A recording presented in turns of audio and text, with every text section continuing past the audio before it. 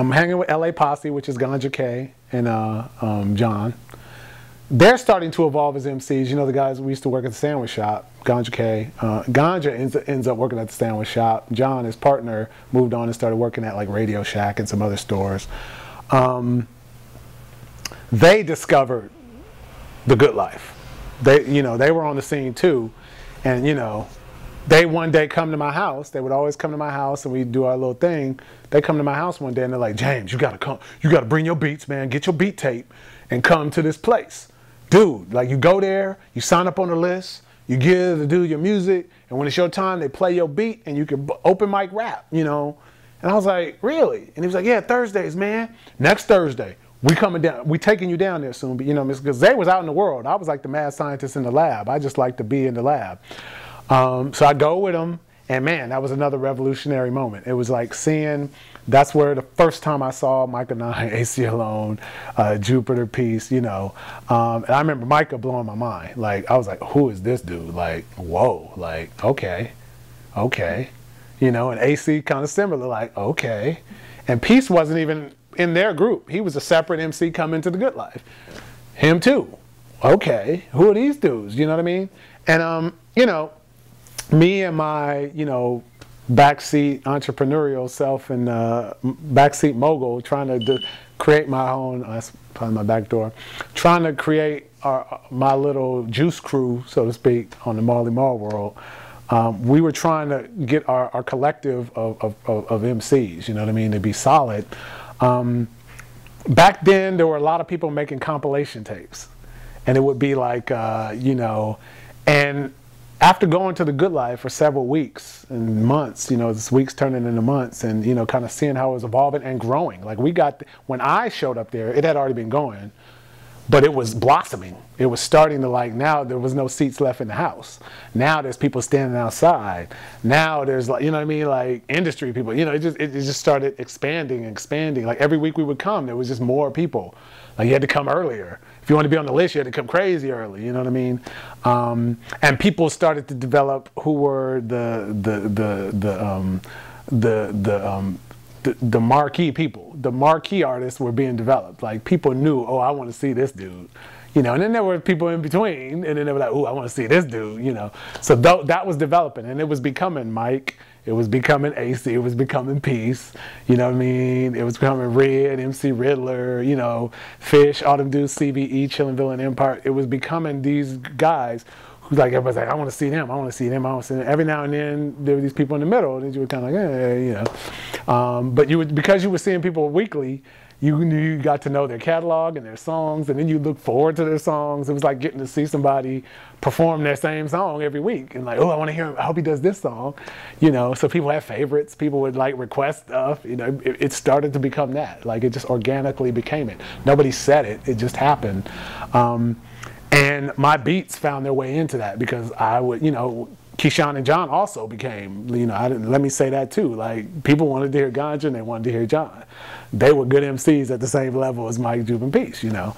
Um, and so because of that, because of Mike and Jupe and them guys hearing my beat, Mike and AC and them guys came to my house one day and I remember me and Mike hit off. We just I put on a beat that I had. It was just like a James Brown loop. And at this point, I had uh, been, I came to acquire a Casio FZ1 sampling keyboard.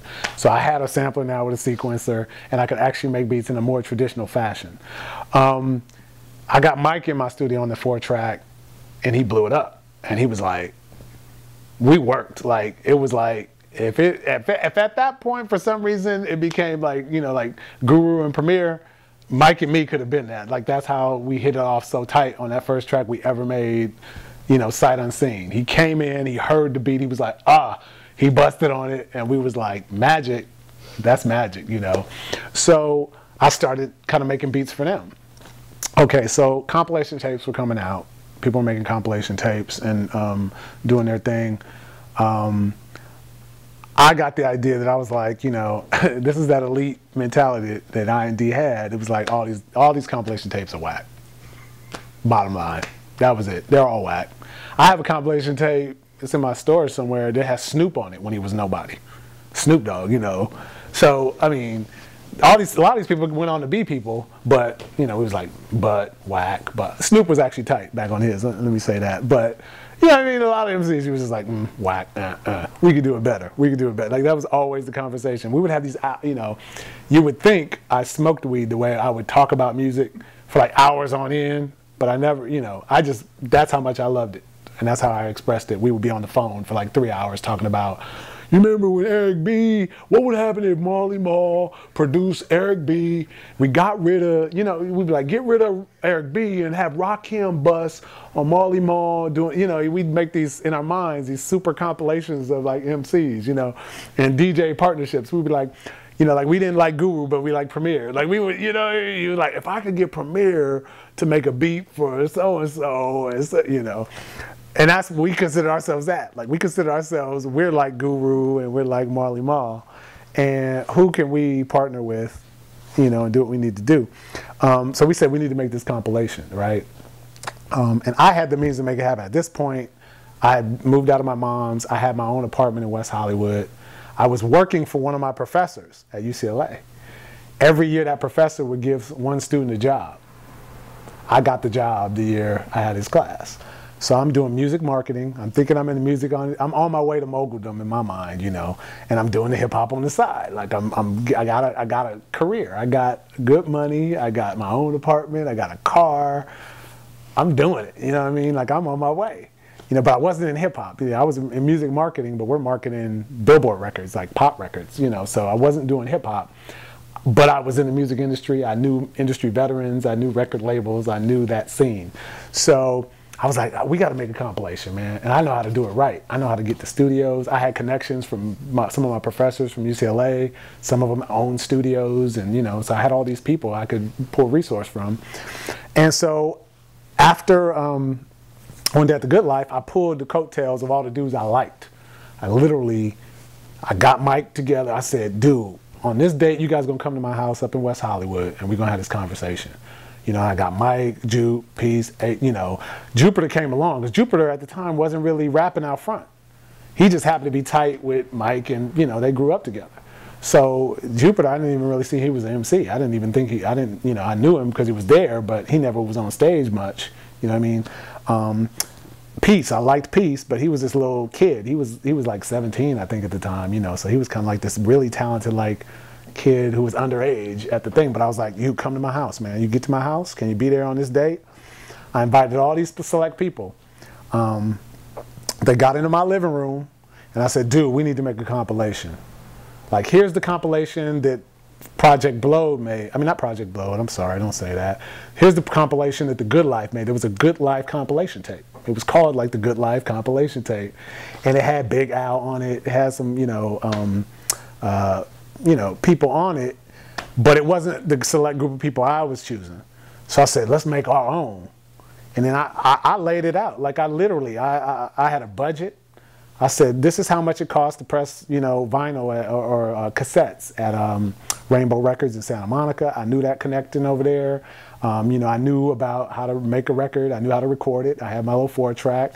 I knew how to produce it. I knew how to do all the, the stuff behind the scenes. I was like, I need you guys' talents to perform on this. I'll make beats, you guys perform on this, right? Um, and they all agreed. Um, and in that same room was Ganja K and um, John, you know. Um, and he had changed his name to Ganja K, and it was, um, um, I think uh, they were called the Chronic at the time, too. And this is before Dr. Dre became Chronic. So, you know, I had to say that. Dr. Dre did not, he was not the first to think of the Chronic. Ganja K was the chronic. You know what I mean? It was Lieutenant uh, Bombay, Lieutenant KMC, and uh, Dr. Bombay as the chronic, and they, they went on that whole shift. And I think that, that I don't know, you know, where they got that influence. You could ask them, but um, they couldn't be on it though because they signed a, a deal. So that that was an incredible void that they should have been on it because they would have been like first name on it in my mind, but they couldn't be on it. They signed a record deal and they were off and recording. They were recording in a professional studio. We would go there, you know, and that's where Torch was in that circle. Um, and, and Mean Green. Mean Green is like a good childhood friend of Keyshawn, Ganja K, and John. And that's how I met Green. You know, me and Green kind of hit it. And Green was trying to learn to rap. He wasn't even rapping back then. So he just tagged along. He was like the buddy hanging along. Then, it, you know, he just turned into like a superstar MC. You know, we, I don't even know how these things happen. But so anyway, we, we, I got these guys in my house, my house, away from all influence. And I said, here's the proposition. Here's the budget. We just need to come up with $120 We'll record these songs over the month of September in 1991.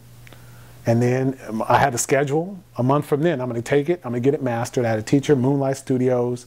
These guys, we went to like, uh, um, was it Los Feliz kind of area. He had a little garage studio there. I said, we're going to master here. He'll do it for me for good. I'll cover it because I had a job. Like a lot of guys didn't have jobs and so forth. I said, I'll cover that. I'll cover this post production. You know what I mean? Let's just, I want you guys to chip in. And, you know, and I, I even broke it down kind of like the drug game. I was like, if we each put in the 120, look what can flip back if we sell them for five bucks a piece. You know, we get 500 times five, it's $2,500 back. You know what I'm saying? So we're putting in something, it was something like 700 some dollars, whatever. We're going to come back with 2,500, but let's not spend that 2,500. Let's re up and let's get some vinyl. Like let's let's just keep unfold it, fold it, fold it, get it back, fold it, get it back, you know. And so I, I outlined this whole business proposition to the guys, and they were just word, you know what I mean? And you know, you'd have to ask them what their motivation was to want to do it. But my motivation was we could build something, we can become our own. Like let's not sign with the man. A record deal is a chumps game, you know what I mean? And that's what I was learning at UCLA. I was learning a record deal is not, it's for the favor of the record label. It's not for the favor of the artist. I was reading the books. I, you know, I talked to the, I, I talked to Clive Davis like I'm talking to you. You know what I mean? Like I, I so I was like, you don't want a record deal, dude. You don't want to be sending your demo. I had interned at record labels.